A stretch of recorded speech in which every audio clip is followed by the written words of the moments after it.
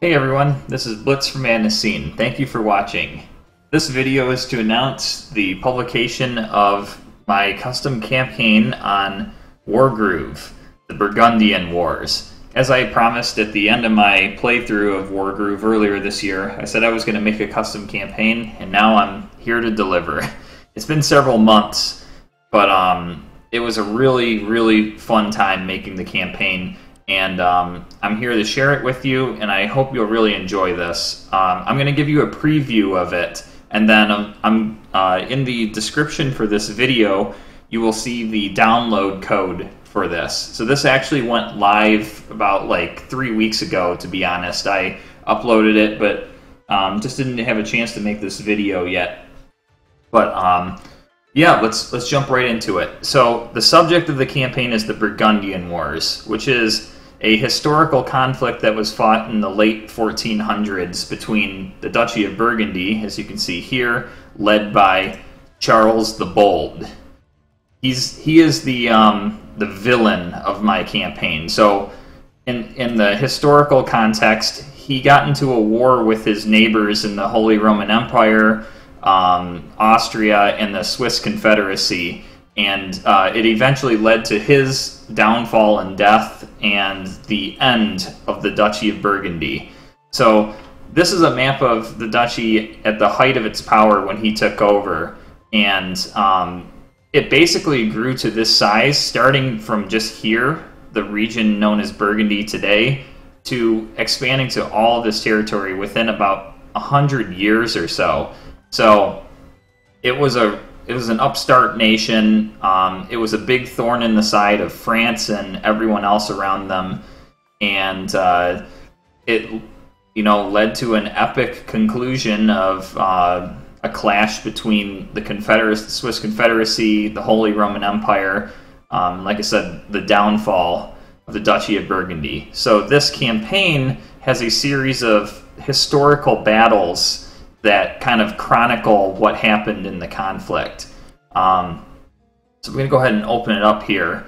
And it's a pretty short campaign. There's only nine scenarios in it, and actually two of them are optional. Uh, I'll go through them one at a time. Obviously, I'm not going to play them here because uh, it's going to that would take a long time. But uh, if there's if there's significant interest, or or even just a few people asking for it, um, I would be happy to play this campaign publish it to this, you know, this channel here, and you can kind of see like how I play this campaign. I spent a lot of time doing play testing, balancing, play testing, designing, and of course a lot of historical research. So this campaign's not meant to be a simulation of history. It's not meant to be exactly historically accurate. I mean, look at this map. Like this is obviously not a map of Europe, right? So it's kind of, you know, it is what it is. But the point is, I tried to make the game uh, compelling. I tried to make it fun, and I tried to make it a real challenge. So this campaign, right from the get go, when I was designing it, was it's not meant for the faint of heart. Um, this is not going to be easy. In fact, I in the description for the campaign, when you look it up online on the like download custom content, you'll see I say it has high complexity and hard difficulty. Um, now, of course, you know maybe you, you won't find it so difficult, or maybe you really will. Um, I I sincerely hope that you find this campaign if you play it to be a challenge. Um, but but like I said, I've play tested it for months. I play tested it as I was developing, and then I spent like an entire month just playing it over and over again. I've played all these scenarios like multiple times, trying to get just the right feel for it. Um, so hopefully, you know, you, you find this a good challenge and maybe you'll learn something from this too. Because, you know, I'm a big believer that history writes some of the best stories. Um, it's not taking anything away from people who are really creative and creating custom content with their own original stories or taking the characters from this game and and making campaigns with them. That's great, and I'm I'm so happy that this game has this feature where you can create campaigns and share it. It's something that I always wish that Advance Wars had back when I played that game. Um, so yeah, let, let's let's jump into it. So so the first battle is actually a prologue, and it's not actually part of the Burgundian Wars, so to speak. Um, it's actually a conflict in France in uh, 1465, um, known as the War of the Public Weal. And essentially, the King of France found himself at war with his subjects, um, and this took place um, a couple decades after the end of the Hundred Years' War. Uh, so we start here with the Battle of Montlhéry, and uh, I'll give you a preview. So what I did for this campaign was I um, I did some research online and looked for battle maps if I could find them. And as you can see, this is a really detailed battle map with the French troops at the bottom and the Burgundian troops at the top. Um, and then I tried to recreate it. So I went ahead and you know where I saw like there's like okay forests and ridge lines and such. I used a lot of in this campaign. I use a lot of mountains in this game as ridge lines and um, forests, obviously, and roads and and rivers. They are what they are.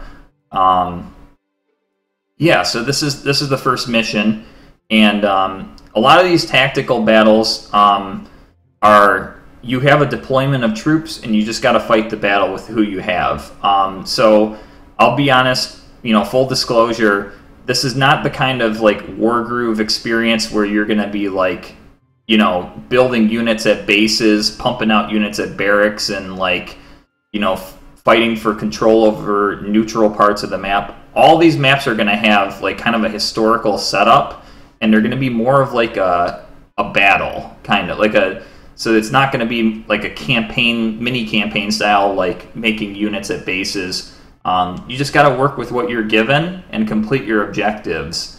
In this case, uh, defeat the enemy commander or take down their stronghold. And you got to break through their defensive line to do it. And as you can see, it probably looks intimidating. Um, and get used to that if you play this. I've designed these scenarios so that you should feel like, oh man, how am I going to do this? But my hope is that when you do succeed in these scenarios, you'll feel that you accomplished something. Um, but this is what I'm talking about with high complexity and difficulty. Uh, you'll just see that there's a lot of units on the board, and there's actually going to be reinforcements involved in the battle. So, um, good luck with it. You know what I mean? Like it's I, I hope that you find this a, a real challenge. Um, this scenario is actually one of the more straightforward ones. It's just uh, take your troops, break through the enemy line, and take take out their camp. Pretty simple, right? Um, maybe we'll see. Anyway, that's I mean that's about it for this um, for this scenario here. There's not really. Uh, I have the description here and. Um, the the AI in this scenario controls the teal units, but for the most part, you won't really have AI allies. So I, I there is some scenario like map design diversity, which is like what was really cool about this um, historical conflict and turning it into a game. Um, is that there's like a there was a bunch of different you know a lot of like sieges, a lot of open battles, a lot of diversity. Um, so it, it makes for a really interesting history and a really interesting setting for this game. So that's the first scenario. Um, the second scenario is actually a hypothetical scenario. So this is the first one that's an optional one.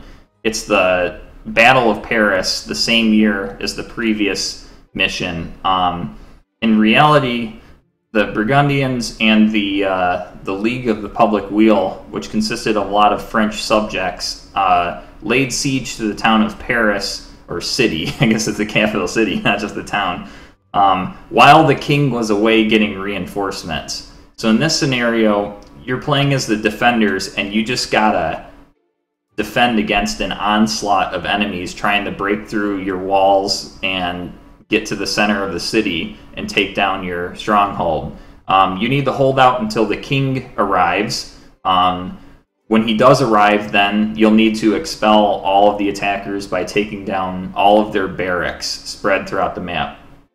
So for this one, you do actually have the ability to produce some units in a base, and um, you'll have to be really wise about how you use your resources because, as you can see, you're definitely outnumbered, and you're not going to want to lose, especially like those ballistas. Um, you're not going to want to lose them.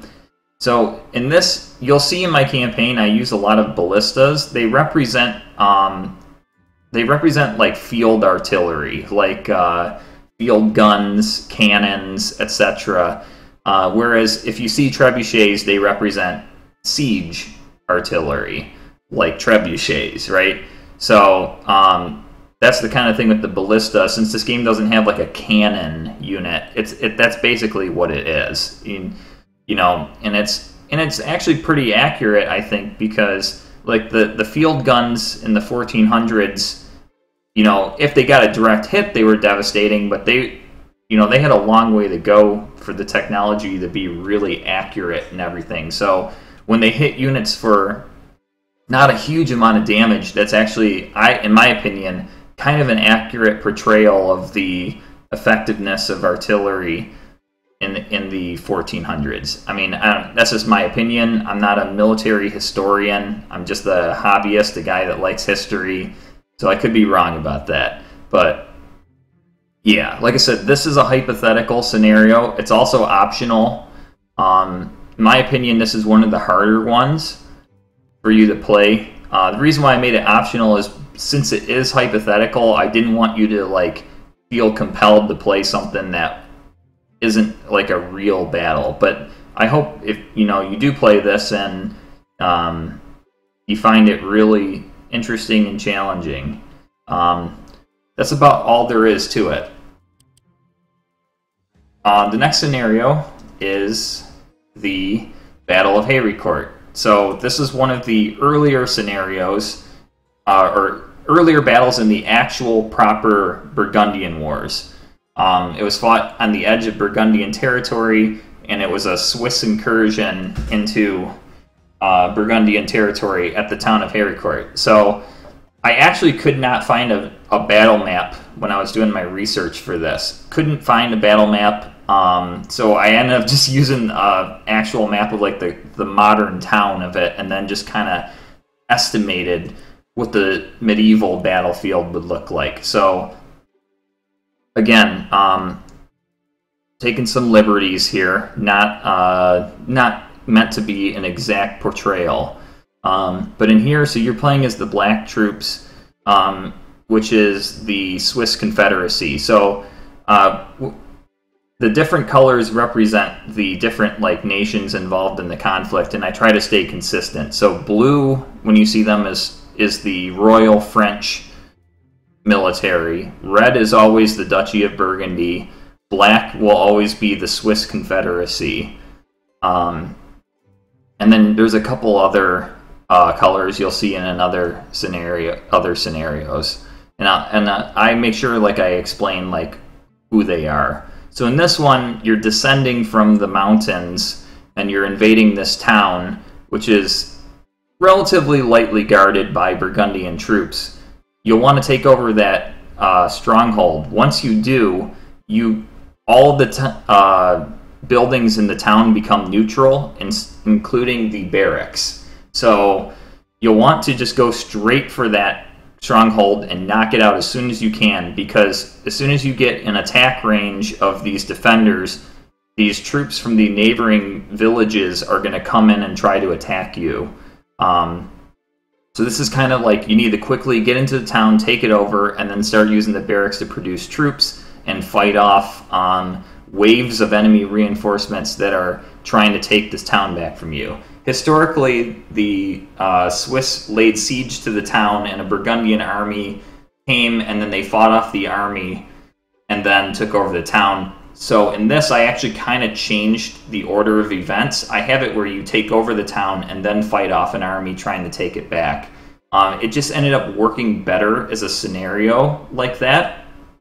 So again, not not exact simulation of history, but um, still, hopefully, you'll find it to be an interesting scenario. Next one here we have way off over here is the Siege of Neuss. So when I was when I was positioning these on the board, I was trying to like use the relative position of like where these actual locations are in the real world. So like you know, this battle south of Paris, this is supposed to be Paris. This is like the edge of France or the edge of the Duchy of Burgundy historically. Um, and then this would be like Germany over here, or the or the you know Holy Roman Empire Germanic states, and then in the mountains here would be Switzerland, and then from here I just kind of these three I didn't really use relative positioning. I just used it based on the geography, like being by bodies of water, which you'll see the significance of that later. But um, yeah, next one is Siege of Neuss. So again, I didn't have a um, actual battle map, but I did find this uh, pretty cool looking medieval map of the of the city. Um, so the history behind this was um, Charles the Bold. First and foremost, um, he actually considered the war at the onset anyway. To, his most important objective was to defeat his enemies in Germany. He actually wasn't too worried about the Swiss at the beginning, so he was trying to take down uh, the city of Cologne, which was his enemy, and Neuss was allied to Cologne. So, in order to protect his flank, he laid siege to this city. In the meantime, the Holy Roman Empire Imperial Army um, came to relieve the siege. So in the yellow, the yellow troops are the Holy Roman Empire Imperial Army, and um, that's who you're playing as. And so, um, again, this one, the setup for this scenario, um, the map layout is kind of based on like as much geography as I could get. You're looking at modern maps, and I think the river might have actually been like rerouted a little bit. I'm not exactly sure, but this is kind of an estimation. And as you can see, like the kind of the setup of the city, if I rotate this, you know, was kind of that's kind of what I was going for with the with the city setup and the walls around it. Um, yeah, so and and you know, this was actually not really like a major battle per se. It more ended in like a skirmish and then a truce between the Burgundians and the Imperial Army. But in this case, um, the Burgundians are actually going to try and assault the city, which is not. They did do some fights. They did try to breach the gates a little bit and didn't have any success. And then they ended up just having like a several month long siege that ended in defeat for them. So it was kind of a um, it was one of the first like major setbacks that the Burgundians suffered in the war.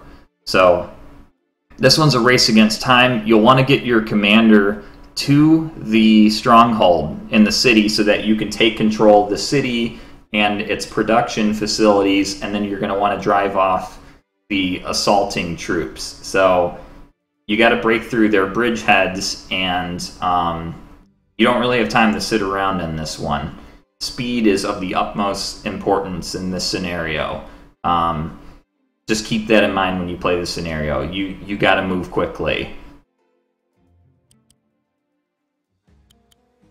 Okay. Um, next we have um, a the second um, optional scenario. It's the conquest of Vaud, and um, this one's actually like a mini campaign because it's massive. I made this I made this map to kind of look like the region of Vaud, and as you can see, this is like a really large map. So Lake Geneva at the bottom, um, and some of these cities you see on the map there, um, some of them are castle towns, other ones are just towns. Um, so in this scenario, you're playing as the Swiss Confederacy, and you're trying to conquer the region from the Duchy of Savoy. So Savoy was uh, one of the biggest allies of, of the Duchy of Burgundy, and they actually had control of this region.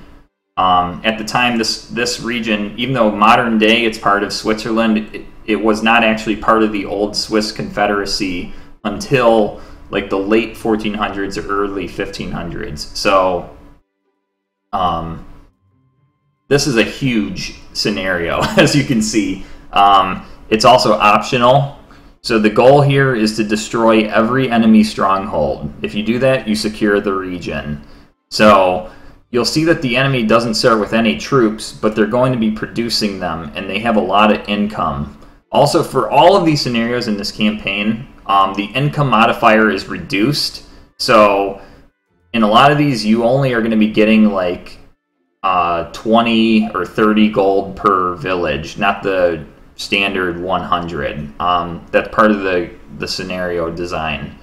So, yeah, this is the um, this is the conquest of Vaud, and the timeline for this was like the summer. Uh, it took an entire summer for this, so it's not like one particular battle. This is definitely the highest level um, scenario here.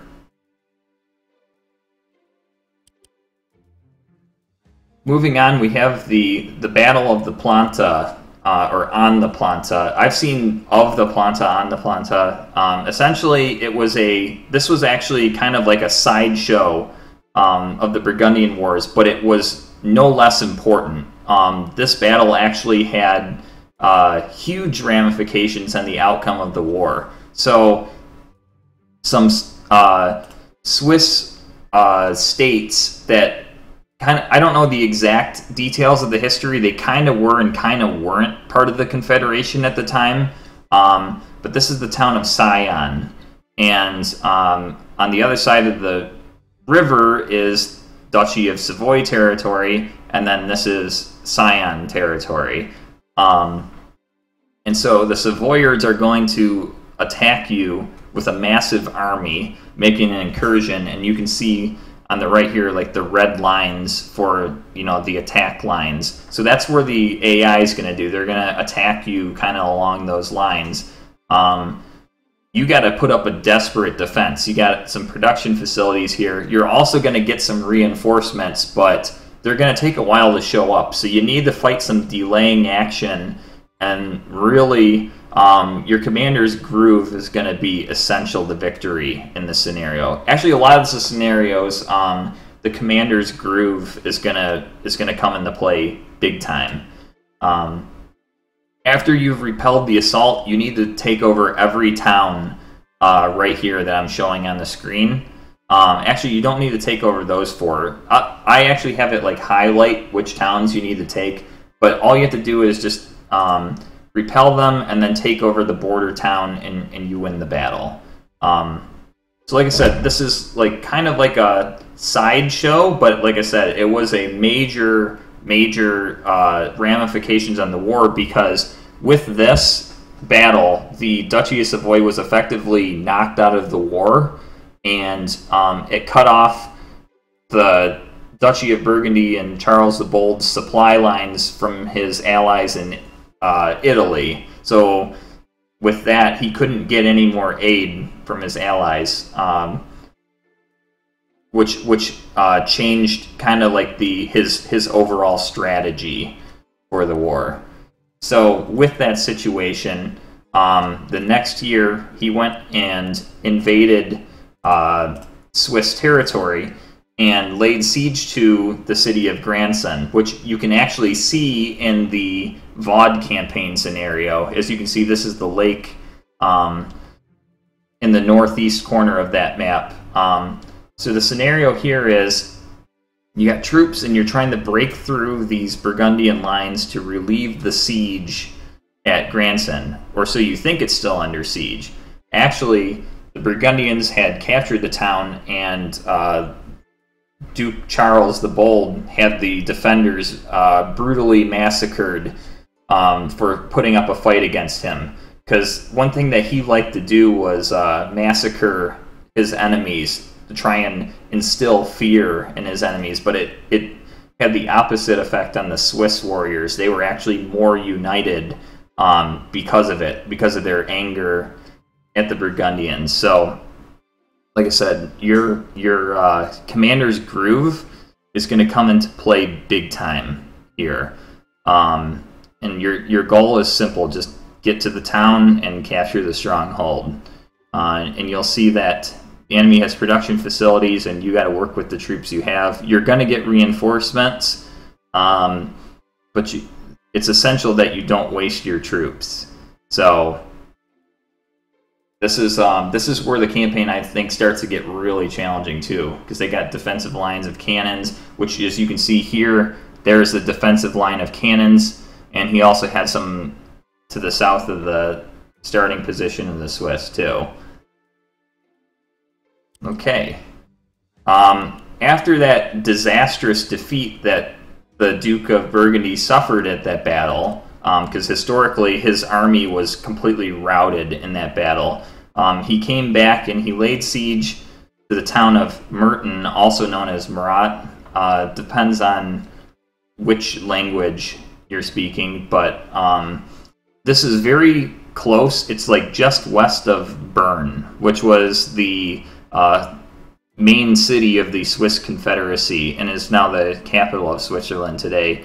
Um, so here you can see, again, tried to, as accurately as I could, um, set up the disposition of troops at the start of the battle. So, so the big thing here was that while they were laying siege to the town, they also were only weakly defending their uh, perimeter because uh, Charles the Bold didn't have good reconnaissance and didn't know exactly when the Swiss were going to arrive to attack him. So he had his troops kind of resting um, and then the Swiss showed up, and then he's like, "Oh shoot!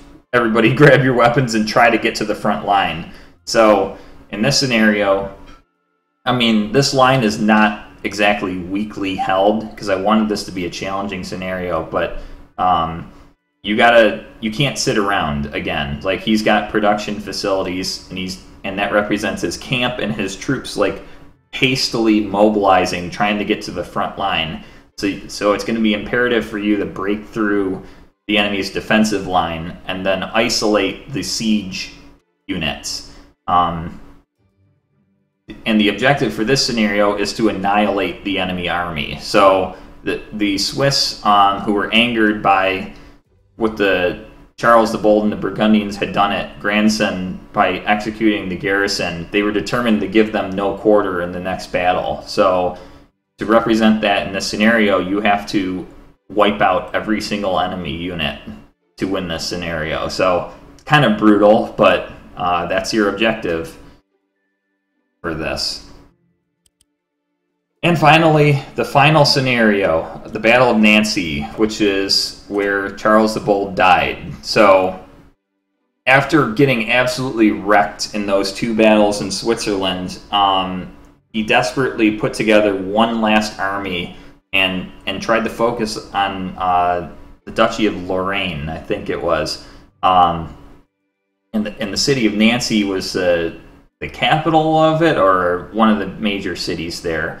Um, and the uh, Lorraine troops and their Swiss allies. So in this scenario, yellow is actually not the imperial army; it's the it's the troops of the Duchy of Lorraine and um, then you have Swiss Confederation soldiers, and your goal defeat Charles the Bold himself. So um, you're gonna have he's got his guys, as you can see, just like in this scenario, he's got his guys between the river and the and the trees, and um, he's got his defensive artillery line uh, set up, and uh, yeah, you're gonna have to and you're going by the way you're going to be fighting in snowy and foggy conditions so just like the actual battle. So it's going to be important for you to be very careful how you approach this one. Now you do have there you do notice that there's a bunch of neutral towns. So you can capture those towns and they'll give you income. You can't produce any new units but you can use your mages who represent healers to um, keep your troops in the fight.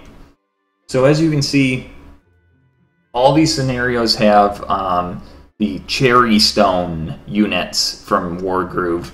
Um, the reason why I did this is because they, they look like the European medieval soldiers. And, and the unit selection is limited because this is a um, historical campaign. So essentially, every scenario you're going to see commanders swordsmen, pikemen, archers, mages that represent healers, um, but you can also attack. So if you want to throw in an, a small element of fantasy, say magic user is fine, whatever. That's not what I, that's not my intention, but it, it's how the game's units are. And then of course cavalry and then artillery. Um, there's no no no naval units. There were no naval battles in this war, and uh, no air units because there was no air combat in the mid uh, you know medieval times. So, um, yeah, that's that's about it. Um, I my my strong recommendation if you play this campaign is turn off battle animations. Uh, it'll save you a lot of time because these, like I said, these are these are pretty complex battles. So, um, you know, if if if I end up playing these and like recording and uploading to this channel, uh, you'll probably see that these scenarios are going to take me probably like an hour each to play. Uh, maybe you play quicker than I do because I like to do a lot of thinking. But um, yeah, that's about it. So um, thank you very much for watching this, uh, and I hope I've piqued your interest. Uh, I hope that you will download this campaign. Like I said, in the description for this video is the download code. You can also look it up by the by the campaign name, which is the Burgundian Wars. I have it listed as version 1.0, so in case that I do want to make updates, like for example, add a couple like uh, side or backstory scenarios because um, there were a couple battles that I left out that weren't actually part of the wars, but they were battles that Charles the Bold had participated in. And when I first conceived of this campaign, it was actually going to be more of like a story driven um, and be more like telling his story, but I kind of went away from that and just went for the historical campaign. So um, I hope you all will take on the challenge of bringing down the Duchy of Burgundy. Um, and because I think this campaign will will give you give you a good challenge. And uh, if you have any feedback on it, I would absolutely love to hear it, good or bad. Um, and if you want to give this a rating, uh, please give it an honest rating. If you like it, give it a good rating. If you don't like it, give it a bad rating. But um, I mean, I, I would really appreciate any feedback that you have um, any things that you, you might have a suggestion for like if i make another campaign because you know if, if this is received really well i'd be really interested in making another historical campaign. Uh, the hundred years war would be an excellent subject matter for a campaign. Could also do the english war of the roses could do the knights of the teutonic order campaigns. Um, just there's just so many medieval uh, campaigns that I could definitely turn into a Wargroove campaign. Um, so yeah, uh, other miscellaneous notes. This is on Nintendo Switch uh, that I have this game for. So hopefully, if you're on PC or another platform, you can still download this and play it. Um, let me know if you're not. I because I, I would be I'd be really surprised, but I mean I don't know. Maybe maybe you can't, but I've seen in the list though. Like I can see like made on Switch, made on PC. So um, I think my campaign is still listed there. If you if you filter by newest, uh, one player campaign, press OK. Uh, I think it's now on page two. Yeah, there it is. Um, so there's a little description there, and uh, that's the code right there at the top um, E8QQ5, MMD, and, and, again, that will be in the description here. Um, and before I go, one final note. Um, want to give a really big shout out to uh, the author of this article, Albert Winkler, uh, who wrote this article, The Battle of Murten, The Invasion of Charles the Bold and Survival of the Swiss States. This was like uh, my primary source of research. Uh, I also did use a lot of Wikipedia articles, which I list the ones that I read. I listed in the description. But um, this is an excellent article. Um, this this article is is awesome. It, it really gives like a good background on the history of the conflict and and some of the history of the Swiss Confederation, and um, goes into detail about the the war and some of the battles that were fought. And this was this was an amazing article. I'm so glad I found this. Uh, this was huge finding this. So so big shout out to Albert Winkler, the the author of this article. Um, I I really couldn't have made this campaign as good as I could have without this. I, I really believe that this this this article was instrumental to developing this campaign. So thank you very much. Um, that's all I have. Uh, again, hopefully you really enjoyed this. Uh, let me know what you think of it. Uh, use use this video to leave your comments, and um, you know if you really like it, uh, please promote it. You know, and if I get if I get a good reception on this, I'd absolutely love to um, possibly make another campaign for this. I know I have a lot of other things on on the plate for what I want to do for my channel, but um, I, I'm definitely not ruling out the possibility of of making another campaign sometime. I think it would be I think it would be a really good time. So with that, uh, I hope you have a great day and uh, happy playing. See you next time. I'm Blitz from MaddnessScene, signing off.